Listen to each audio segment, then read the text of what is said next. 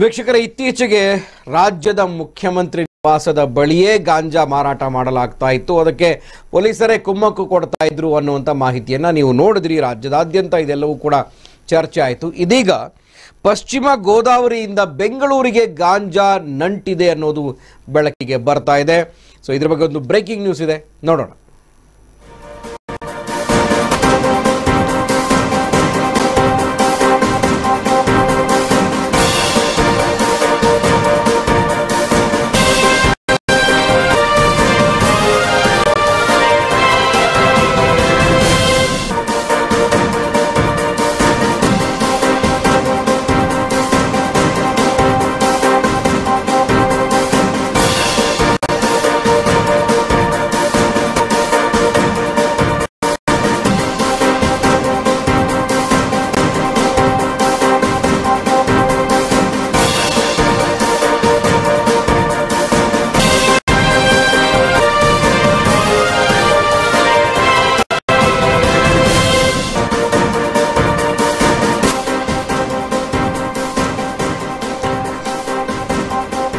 S Amogh ಟಿವಿಯ ಒಂದು exclusive ಮಾಹಿತಿಯನ್ನ ನಿಮ್ಮ ಮುಂದೆ ಇಡ್ತಾ ಇದ್ದೀವಿ.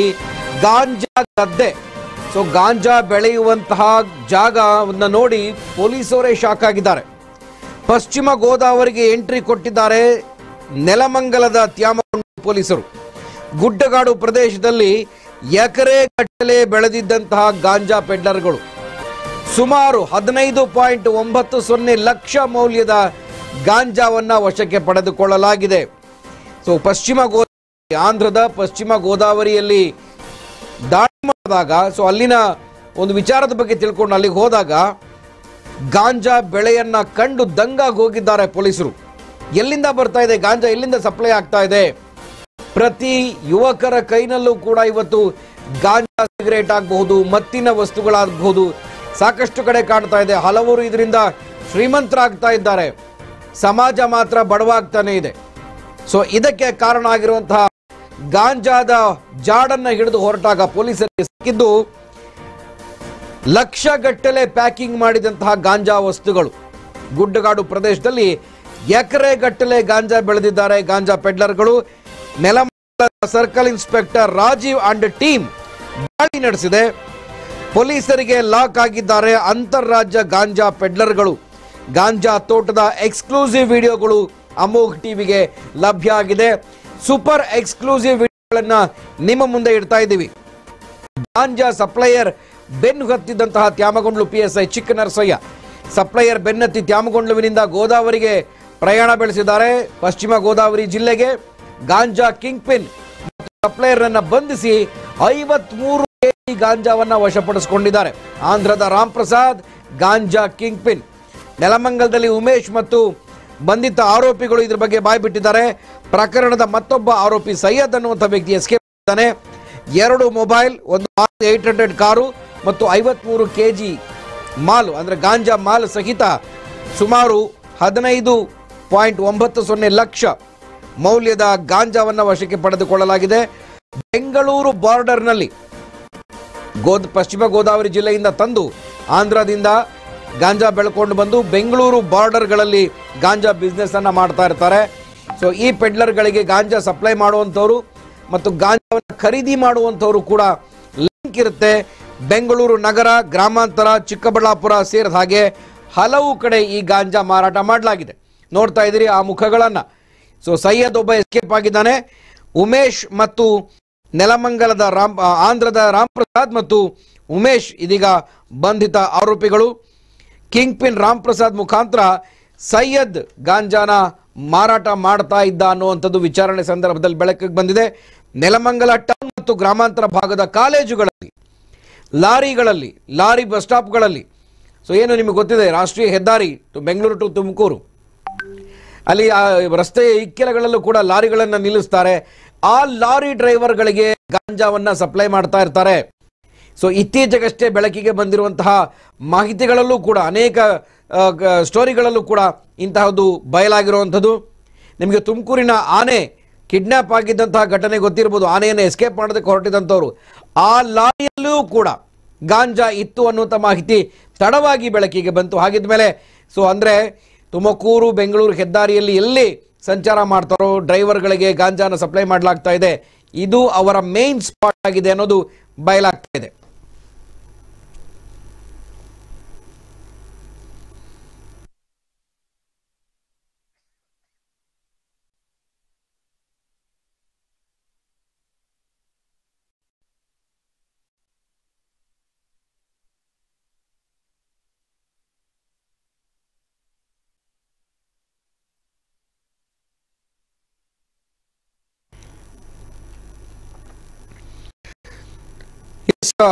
ಪಶ್ಚಿಮ ಗೋದಾವರಿ ನೋಡ್ತಾ ಇದ್ರಿ ಆಂಧ್ರ ಪ್ರದೇಶದಿಂದ ಬಂದಿರುವಂತಹ ಗಾಂಜಾ ಮಾಲ್ ಹೇಗಿದೆ ಅನ್ನುವಂಥದ್ದು ಮತ್ತು ಈ ಡ್ರಗ್ ಪೆಡ್ಲರ್ಗಳಿಂದ ಹೇಗೆ ಗಾಂಜಾವನ್ನ ಪರ್ಚೇಸ್ ಮಾಡಿ, ಇಲ್ಲಿ ಹೆಚ್ಚಿನ ಬೆಲೆಗೆ ಮಾರಾಟ ಮಾಡಿ ದಂಧೆಯನ್ನ ನಡೆಸ್ತಾ ಇದ್ರು, ಅವರನ್ನು ಕೂಡ ನೀವು ನೋಡ್ತಾ ಇದ್ದೀರಾ.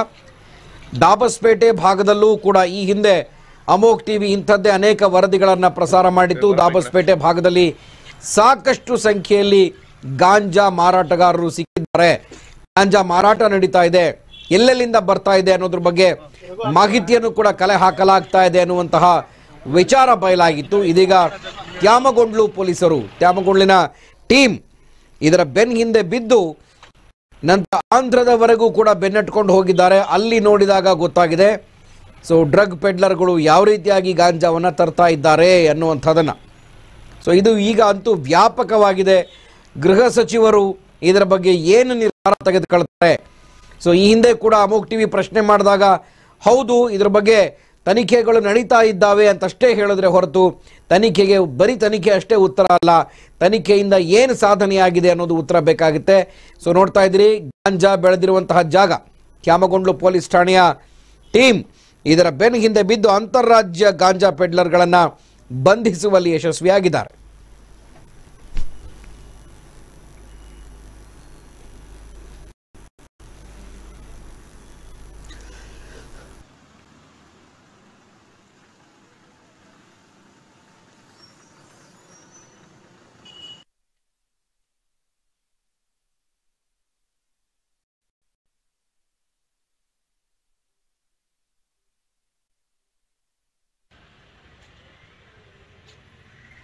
ತಲೆ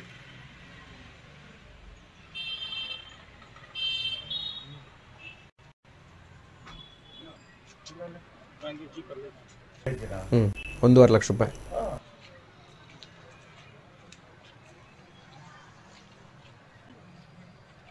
ಏ ಬರಪ್ಪ ಈ ಕಡೆ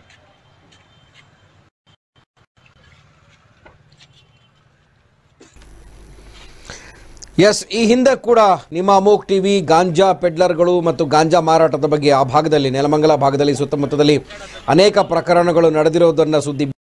ಈಗ ತ್ಯಾಮಗೊಂಡ್ಲು ಪೊಲೀಸರು ಇದರ ಬೆನ್ನು ಬಿದ್ದು ಇನ್ಸ್ಪೆಕ್ಟರ್ ರಾಜೀವನ್ ಟೀಮ್ ದಾಳಿ ಮಾಡಿ ಅಂತಾರಾಜ್ಯ ಗಾಂಜಾ ಪೆಡ್ಲರ್ಗಳನ್ನು ಸೆರೆ ಹಿಡಿದಿದ್ದಾರೆ ಈ ಬಗ್ಗೆ ಮತ್ತಷ್ಟು ಮಾಹಿತಿಯನ್ನು ಕೊಡೋದಕ್ಕೆ ನಮ್ಮ ಪ್ರತಿನಿಧಿ ತಗಿಕುಪ್ಪೆ ಶ್ರೀಧರ್ ದೂರವಾಣಿ ಸಂಪರ್ಕದಲ್ಲಿದ್ದಾರೆ ಶ್ರೀಧರ್, ಗಾಂಜಾ ಮತ್ತು ಗಮ್ಮತ್ತು ಹೇಗಿದೆ ಅನ್ನೋದು ಮುಖ್ಯಮಂತ್ರಿಗಳ ನಿವಾಸದ ಹತ್ರನೂ ಕೂಡ ಬಯಲಾಗಿದ್ದಂಥದ್ದನ್ನು ನೋಡಿದ್ದೀವಿ.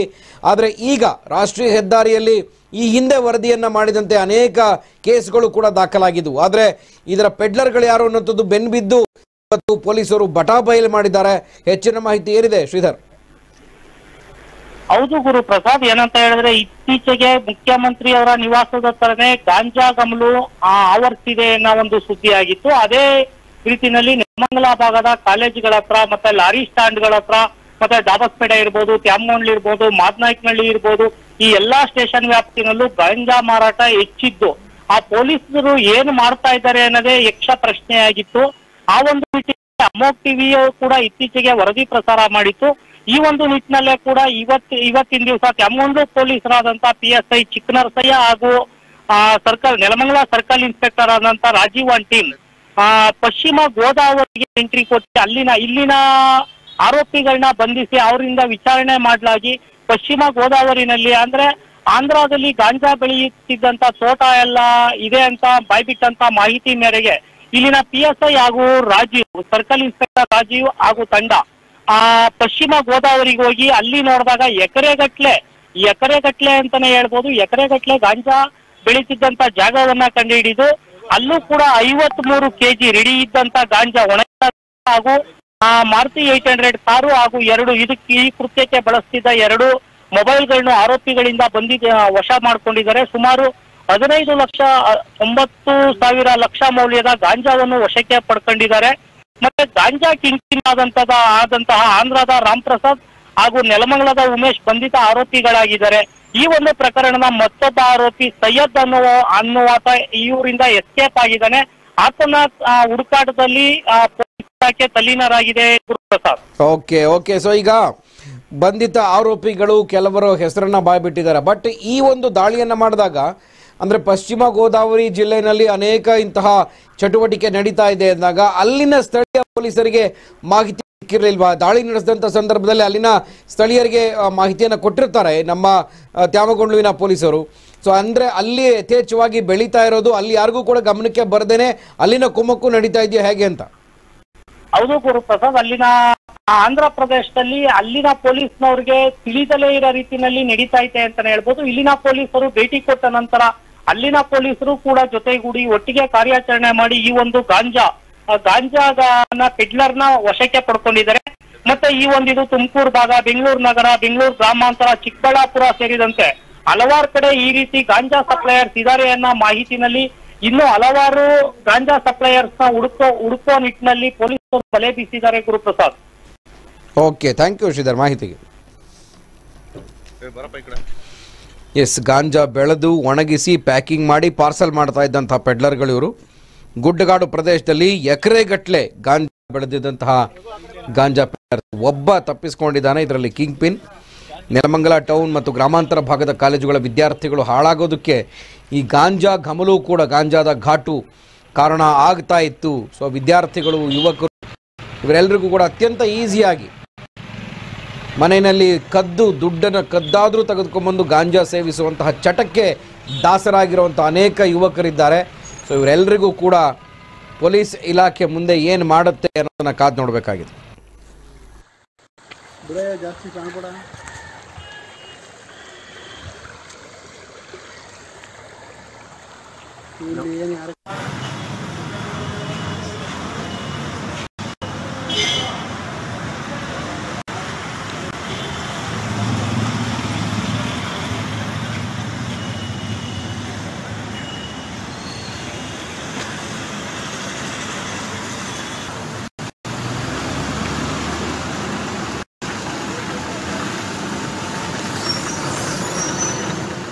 ಕ್ಷಣ ಕ್ಷಣದ ಸುದ್ದಿಗಾಗಿ ಅಮೋಕ್ ಟಿವಿ ಯೂಟ್ಯೂಬ್ ಚಾನೆಲ್ಗೆ ಸಬ್ಸ್ಕ್ರೈಬ್ ಮಾಡಿ ಹಾಗೂ ಬೆಲ್ ಐಕಾನ್ ಮೇಲೆ ಕ್ಲಿಕ್ ಮಾಡಿ ತುಮಕೂರಿನ ಪ್ರತಿ ಕ್ಷಣದ ಸುದ್ದಿಗಳು ನಿಮ್ಮ ಮುಂದೆ.